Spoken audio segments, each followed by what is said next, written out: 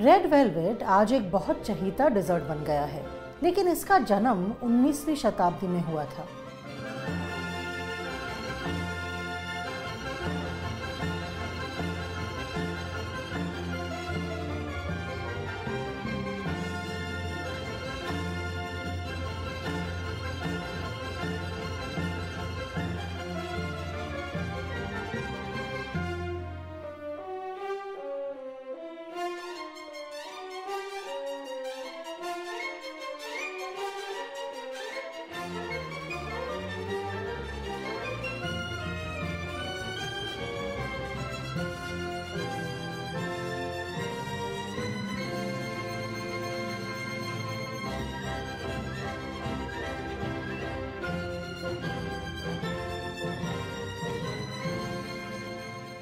सबसे पहले red velvet cake किसने बनाया?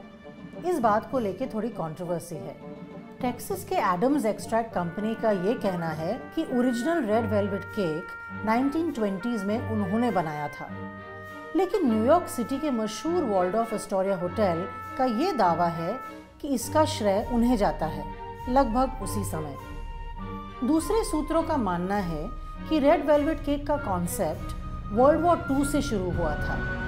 जब बेकर्स को अंडे और मक्खन न मिलने की वजह से मजबूरन लाल बीटरूट से वेलवेट केक्स को सूखा बनने से बचाना पड़ा। रेड वेलवेट का ज़िक्र अर्मा बॉम बावर की 1943 की किताब द जॉय ऑफ़ कुकिंग में भी किया गया है। लेकिन चौंकाने वाली बात यह है कि खुद लेखक को यह रेसिपी पसंद नहीं थी, क्योंकि इसमें चॉकलेट बहुत कम थी।